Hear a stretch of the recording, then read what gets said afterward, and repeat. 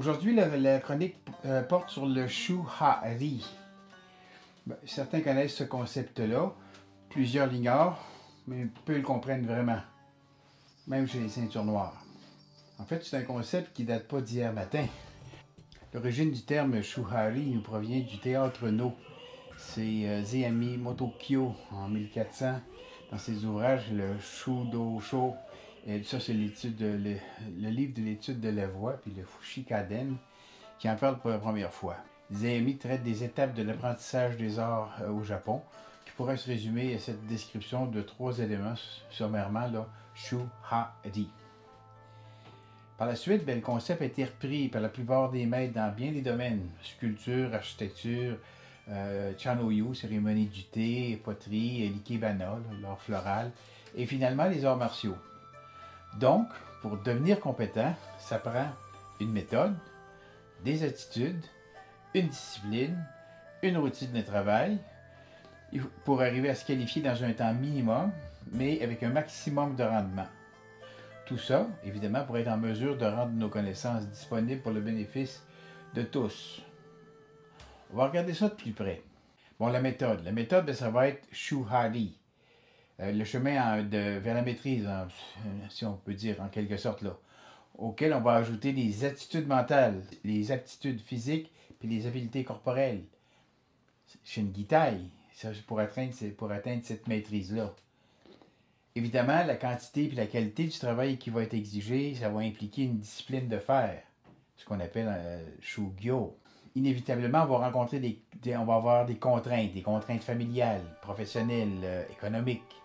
Euh, l'adaptation à l'environnement physique, euh, un grand dojo, un petit dojo, l'adaptation intellectuelle, il y a plein de ceintures noires ou il n'y a pas beaucoup de ceintures noires, ou même culturelle si on débute dans un autre pays avec une autre culture que la nôtre. Ici va rentrer en jeu le Junori, l'adaptation, le tout le plus efficacement possible avec euh, euh, ça, c'est évidemment, le meilleur moyen. Puis finalement, ben, tout ça pour arriver à Jitakioe, le but ultime, c'est-à-dire de faire profiter à tous notre compétence et de faire euh, finalement de meilleurs humains. C'est ça qui est le but ultime. Mais avant de poursuivre, euh, euh, j'aimerais ça vous inviter en début de vidéo d'activer les clochettes pour recevoir les notifications. Donnez-nous un pouce en l'air, ça va nous donner un coup de main. N'oubliez pas de partager ces vidéos-là avec vos amis ou vos élèves. Et surtout, surtout, abonnez-vous à la chaîne Martialement Vôtre. Et pour tout ça, ben, je vous remercie énormément. On revient maintenant à Shu Hari. Shu Hari. Commençons par le Shu. Shu. L'idéogramme qui est choisi qui va nous donner une idée de ce que c'est. Shu, c'est euh, composé de l'idéogramme de la, loi plus le toit de la maison. Ben ça, ça va donner quel sens? Ça donne le sens de garder, de protéger, euh, de conserver, puis aussi de respecter. Un petit peu par extension, il s'agit d'apprendre des fondamentaux en respectant la tradition. Donc, finalement, entrer dans le moule. On pourrait en faire une, analyse plus cartésienne euh, que Chourez pourrait signifier, par exemple, suivre. Chou, en effet, c'est peut-être l'étape où on suit scrupuleusement l'enseignement de son maître jusqu'à arriver à, reproduire exactement les techniques. Bref, dans le fond, ce qu'on fait, on se concentre sur la tâche qu'on a à réaliser pour être bien en mesure de copier la technique. Puis, s'il existe plusieurs façons de, plusieurs façons de faire cette technique-là, on va, se concentrer uniquement sur une seule d'entre elles, celle que notre prof euh, va nous avoir enseignée. Parce que notre prof, euh, c'est la vérité pour nous. En tout cas, pour l'instant. Chou, c'est aussi le stade de limitation. Comme on disait, c'est le, le chou, c'est le stade de limitation. C'est la première période de l'apprentissage. Il peut se traduire par être avec le maître. C'est l'époque de l'apprentissage des techniques, des katas, des randories, bref, euh, tous les principes de base qui régissent la pratique. C'est un stade élémentaire de la pratique. On dit que le pratiquant a l'esprit entravé. On appelle ça Ushin. C'est la période de la mécanisation des techniques, si on regarde du côté Guy, du côté de la technique. Là. Mais c'est aussi un stade de contrainte, de rudesse, parce qu'on ne sait pas, parce qu'on ne peut pas, ou encore on croit ne pas pouvoir. Ici, on fait appel à la valeur taille de Shingi Tai, parce que le corps et l'esprit doivent s'affermir, se transformer pour faire euh, face au premier choc. Mais, en conclusion, c'est aussi un stade d'enthousiasme, c'est plaisant, c'est le fun, c'est un stade de détermination. Un stade qui finalement, dans l'apprentissage, est confortable. Une fois que le, le, choix de départ est fait, là, juste vouloir et imiter. Le deuxième, la deuxième notion, c'est ha. Ha. Bon, l'idéogramme, c'est un, un, peu la peau qu'on tanne, qu'on racle. C'est euh, plus la pierre qu'on utilise pour faire cette opération-là. On est maintenant, on est adapté au moule, on, on est dans le moule, on est entièrement adapté à ce moule-là. Maintenant, il faut maintenant commencer à s'en détacher. Ça, ça veut dire qu'on va accepter de tâtonner un peu en vue de découvrir la face cachée. Mais une fois arrivé à ce niveau-là, on va essayer de voir ce que, qu'est-ce que ces changements-là vont, impliquer. Ça, ça n'arrive pas demain matin, ça arrive au bout d'une quinzaine d'années de pratique au grade à peu près Sandan ou Yondan. Ha, ben, ça veut dire aussi se détacher, digresser, casser la tradition, euh, trouver des exceptions à sa geste traditionnelle, trouver des nouvelles approches. Mais c'est aussi et surtout peut-être comprendre les règles qui sont derrière. Puis on commence à faire les liens avec d'autres pratiques et voir les limites de l'une puis de l'autre.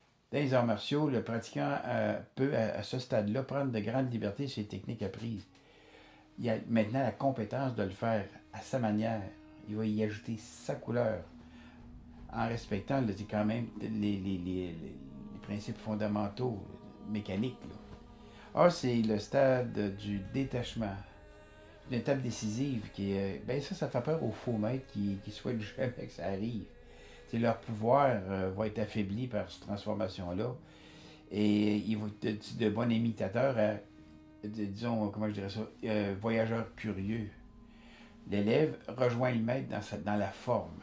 C'est une époque de maturité, une maturité que je dirais une maturité nouvelle. Ça, la deuxième période peut dire aussi encore un peu là, suivre le maître.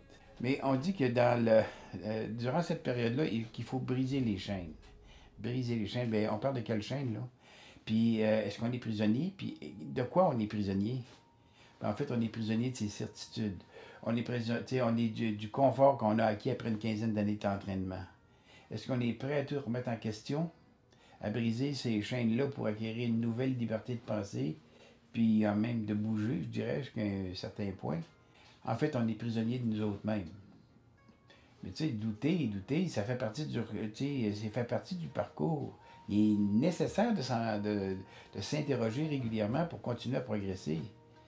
Euh, ces réflexions-là euh, surviennent souvent lorsque se termine la période taille, quand se font sentir les, premiers signes de l'âge, quand à la fin de notre période de compétition, si on a bien vécu ça, puis pleinement la période taille, et surtout au bon moment. C'est quand on est jeune. Ça, à ce moment-là, ça va devenir nécessaire de s'interroger sur, sa pratique pour pouvoir continuer à progresser dans le budo. Est-ce qu'on euh, serait prisonnier de la seule performance physique, euh, de, la quête des médailles? Moi, personnellement, j'ai vécu un deuil euh, à cette période-là, de, de, ma période de compétition. ce deuil-là a duré, je dirais, peut-être un an. Un parcours en budo se, fait dans la progression et dans l'apprentissage de, formes techniques qui sont propres à un professeur qui, lui, interprète les techniques selon ses forces et ses limitations. Cet apprentissage-là est, évidemment nécessaire, mais euh, l'admiration d'un disciple qui porte euh, à un maître peut être un synonyme d'enfermement, de limitation à, penser par soi-même. C'est pour ça que c'est toujours intéressant de, faire des stages euh, dans, des, des écoles différentes, de faire des, tours dans d'autres dojos pour, pour percevoir comment on, est capable de réagir à ces propres capacités-là d'adaptation à un travail technique qui est présenté autrement. Mais ça, mes amis, c'est le Junori. La période A, c'est juste un passage entre Shu et Ri qui peut être pareil simple, facile, évident pour certains, mais il en demande pas moins plusieurs années de pratique. C'est le début de l'intériorisation de l'étude par une sorte de destruction du modèle qu'on a eu pour chercher ce qu'il y a derrière le modèle. On va maintenant aborder la troisième notion qui est la notion Ri. Ri, c'est le kanji, l'idéogramme représente un champ brûlé. Le sens qui est couramment véhiculé, c'est quitter, séparer, lâcher, transcender. Ben, quitter pour certains, ça va être quitter les règles. Pour d'autres, ben, ça va être quitter le maître. Ri, c'est le stade de l'éloignement, en fait. Shuari correspond, dans le fond, aux trois étapes du bouddhisme, c'est accepter, épurer, puis quitter. Mais eux autres, le pas non pas le maître, mais l'ego. Ri, la troisième période, peut aussi euh, se, vouloir dire suivre son propre chemin. Notre esprit va s'ouvrir, va s'affranchir des, des, apparences. Euh, l'art martial devient une, façon de vivre. L'esprit devient, comme on appelle, comme les Japonais le disent, mushin. Ce que nous pouvons traduire, nous autres, par le stade ultime. Mushin, c'est l'esprit sans, entrave, la vacuité, la fluidité, le non-agir, la spontanéité. Tamura, avait Tamura Sensei, le, maître d'Aiki, avait dénoncé l'utilisation erronée qu'il a pu constater dans le monde de l'aïkido euh, au sujet de cette phase-là, le riz. Il disait ceci. Aujourd'hui, les gens veulent juste commencer par le riz. Ils n'arrivent pas à faire euh, comme l'enseignant, puis ils préfèrent faire autrement. Inventer un autre chemin. Et ils peuvent pas faire une chose, à, ce moment-là, ils en font un autre. Dans ce cas-là, il serait peut-être mieux de faire autre chose dès le départ. Puis si je les corrige, euh, ajoute Tamura, il va me dire euh, qu'ils ne peuvent pas le faire, que c'est impossible. Mais Tamura continue, il dit euh, Mais il est utile de faire une chose qu'on ne peut pas réaliser facilement.